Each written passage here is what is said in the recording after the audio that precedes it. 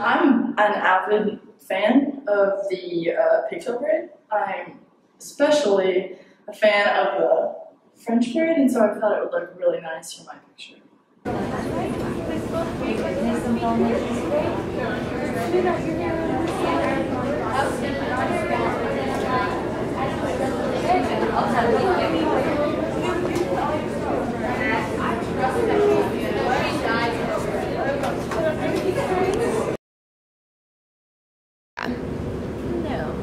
Guess boys, they have less hair. I want to, but my mom is giving pictures of my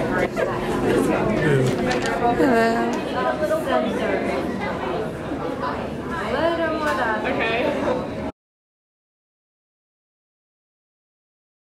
I guess dealing with girls' hair. It's not my way.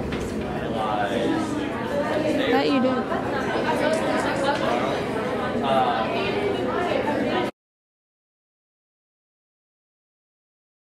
Uh, I don't think it's for yearbook, it's more for ID because some of them have been used for ID, so yes, they do cost.